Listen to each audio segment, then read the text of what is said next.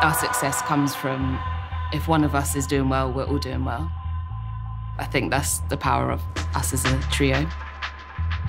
We haven't just created a creative collective, we've created like a special type of sisterhood.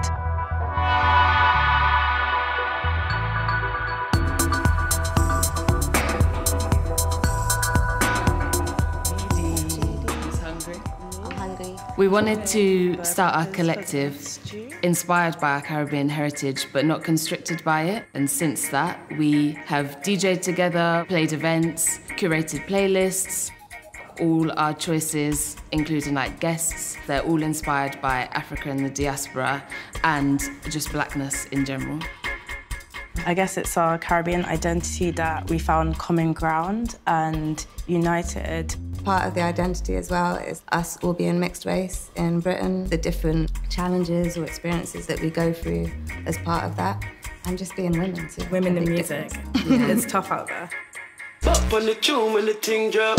Somebody else This is Rabiah. I'm Jodie. I'm Anja. We've come together to bring some of our favourite carnival sounds. Sounds old, sounds new, just a little bit to make you dance.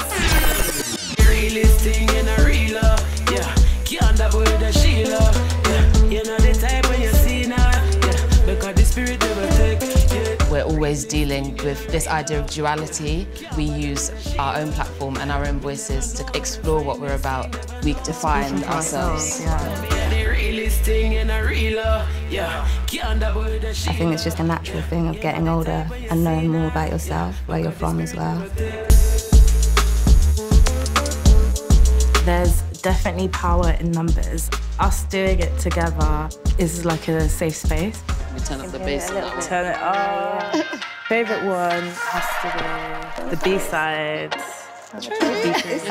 I'm the most new to DJing. Having the girls as a support network has been amazing. We've all got the same idea of no matter how long you've been going, everyone makes mistakes sometimes. When you've got a support network and when you've got close people around you, they don't see it as mistakes, they just see it as um, a platform for you to grow and keep on learning.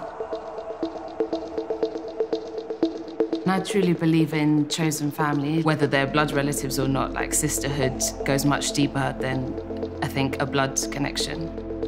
Ultimately, I think it's also just love. There's, there's something kind of unspoken about just having the presence of other people that you love around you, doing something that you all love together.